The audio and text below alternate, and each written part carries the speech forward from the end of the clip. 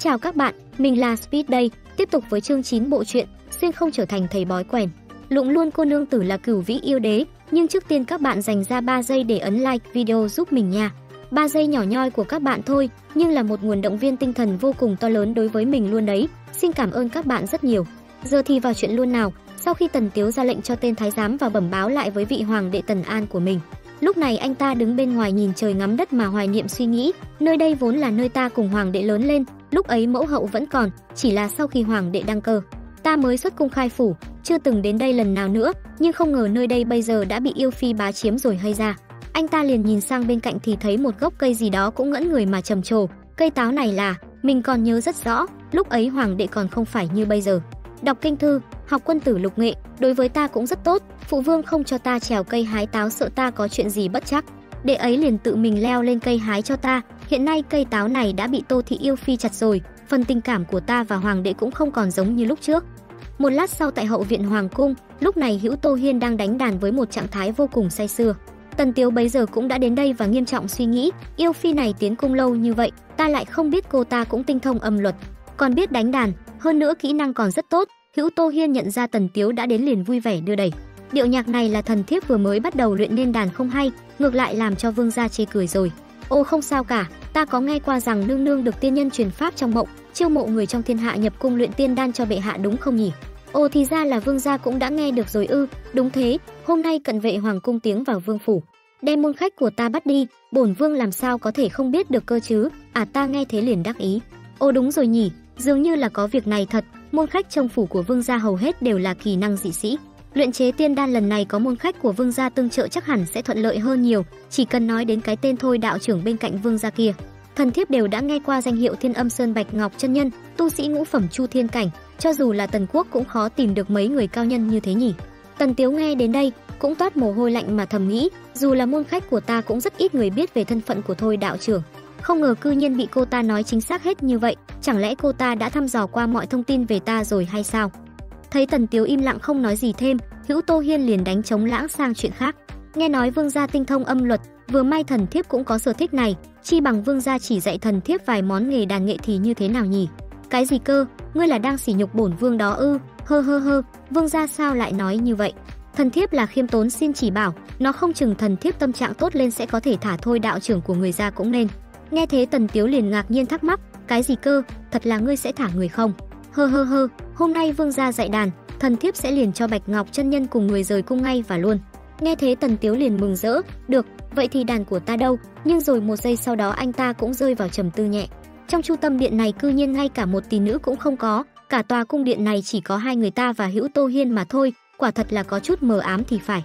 Hữu Tô Hiên lúc này nở một nụ cười đưa đẩy, khoai cặp bưởi của mình ra mà tình cảm nói, vương gia không ngại thì vào đây cùng thần thiếp đánh chung một cây đàn này. À thêm một cây đàn bà nữa là hai cây đàn mới đúng chứ, cũng không cần thiết kêu người đưa đàn đến làm gì cho tốn thời gian của đôi ta. Cây đàn này của thần thiếp là một trong 10 cây đàn nổi tiếng với cái tên là Phượng Hoàng Vĩ, Vương gia nghe qua âm sắc của nó có cảm thấy kích thích và dạo dực trong người không nhỉ?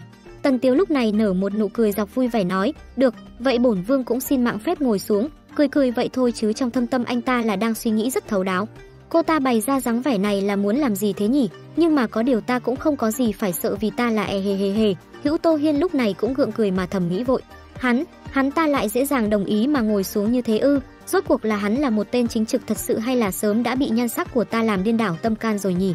Ta thật sự muốn biết điều đó lắm rồi, và khi Tần Tiếu nhà ta vừa ngồi xuống thì Hữu Tô Hiên đã tiến đến mà ôm lấy anh ta từ phía sau lưng mà thì thầm đưa đẩy.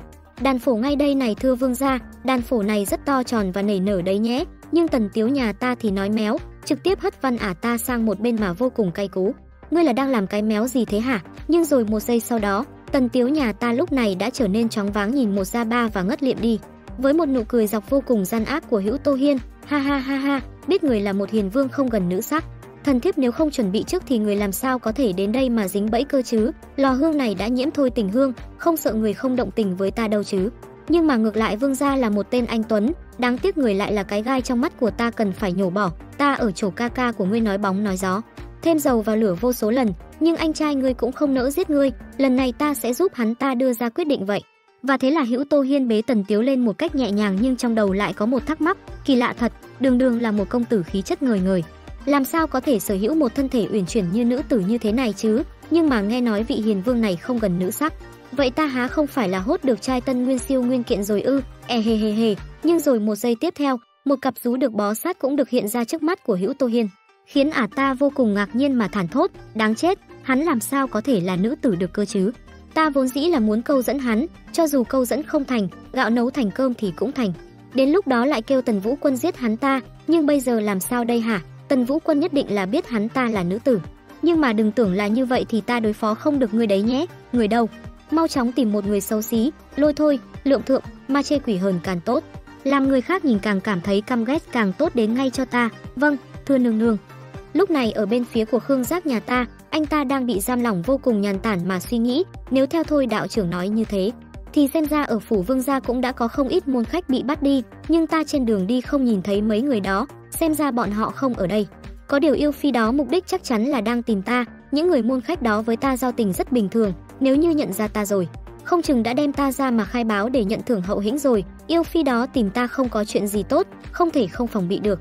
Nghĩ xong Khương Giác liền quay sang bên cạnh mà vui vẻ, vị đạo trưởng này ta muốn cùng người đổi y phục có được không nhỉ?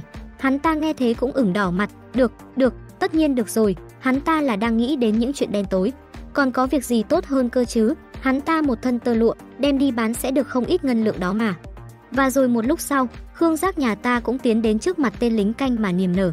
Ta muốn đi đại tiện một chút ạ, được thôi, nhanh đi nhanh đi, nhưng mà cái lề gì thốn. Thôi chết ông đây luôn rồi, nơi này là đã bao lâu rồi không rửa thế hả? Nhưng mà không quan tâm nữa. Dứt câu Khương Giác liền lấy ra một viên đan dược liền nuốt vào mà suy nghĩ tiếp, để sống, không được run. So với giữ mạng dơ một chút thối một chút thì có xá gì cơ chứ? Bây giờ cho dù là công tử Tần Tiếu cũng sẽ không nhận ra ta nữa là. Nói gì đến mấy tên môn khách chỉ gặp ta mấy lần cơ chứ? Nhưng ngay lúc mà Khương Giác nhà ta đắc ý nhất, thì một âm thanh từ cô tỷ nữ cũng vang vọng, "Người, đứng lại, quay lại đây cho ta." Anh ta nghe thế cũng e dè quay lại và bật mốt diễn xuất. Ha ha ha, là tiểu tỷ tỷ tỷ đang kêu ta sao? Đệt mợ nhà ngươi, thúi chết lão nương nhà ta rồi. Nhưng mà giờ thì câm miệng mà đi theo ta nhanh lên, trên đường đi.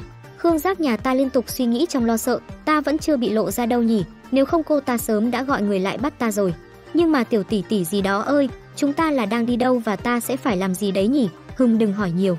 Tóm lại đó là một việc tốt, việc tốt cực lớn đối với nhà ngươi luôn đấy nhé, cho dù là cả đời này ngươi cũng chưa chắc là có thể nằm mơ được đâu đấy. Nghe tới đây Khương Giác nhà ta liền trầm tư mà phân tích, cô ta tìm một tên dơ giấy bẩn thỉu đến ma chê quỷ hờn là muốn làm gì thế nhỉ? Nhất định là không có hảo tâm, bỏ đi, vẫn là tìm cơ hội trốn thoát trước đã. Một lát sau, khi hai người đã đến trước cửa của hậu cung, ả à, tin nữ liền nghiêm trọng, đợi ở đây một lát đi nhé. Khương Giác lúc này cũng hoang mang không hiểu chuyện gì, nếu ở đây ngay cả một tên hộ vệ cũng không có, thì đúng là một cơ hội tuyệt vời rồi. Mình là phải nhanh chóng chạy thôi, nhưng mà cái lời gì thốn thế này, khí công thật cường đại. Cơ thể của mình bị khóa chặt rồi, khí tức ngút trời này cũng chỉ có thể là yêu phi đó, khí công của ả ta mình thật sự là méo thể so bì được. Nhưng mà có vẻ ả ta vẫn còn chưa nhận ra mình thì phải, và rồi ả tỷ nữ cũng bước ra và nghiêm trọng, đi theo ta.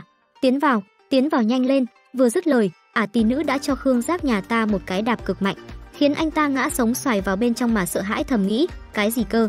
Cửa bị khóa rồi, đây rốt cuộc là muốn làm gì ta thế hả? Nhưng mà đây là mùi gì mà thơm như thế cơ chứ? Mùi hương này là có vấn đề rồi, chẳng lẽ yêu phi đó là muốn kéo ta đến để làm ấm giường cho ả ta hay sao chứ hả? Nhưng mà đợi một lát, âm thanh gì bên trong thế nhỉ? Nó thật sự là rất quen thuộc đó mà. Và rồi Khương Giác vừa vén tấm màn ra thì ối trời đất ơi, là công tử Tần Tiếu đây ư? Nhưng mà có hai cái bánh bao gì trên người anh ta thế hả? Ok video hôm nay đến đây là kết thúc. Nếu các bạn muốn xem thêm hãy ấn like và đăng ký kênh giúp mình nhé. Nhớ bật chuông thông báo để khi ra video tiếp theo YouTube còn thông báo cho các bạn nữa. Bây giờ thì xin cảm ơn và tạm biệt các bạn.